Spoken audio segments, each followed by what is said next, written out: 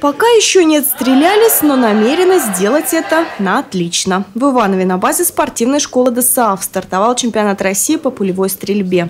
Соревнования будут проходить до конца этой недели. Состязаться в меткости намерены парни и девушки из семи регионов страны. Все они постараются максимально точно поразить мишень с расстояния 10 метров.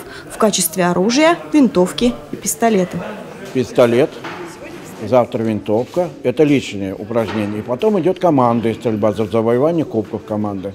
Это будет суббота-воскресенье, пистолет и винтовка. Раздельное время и у ребят, и у девушек разные.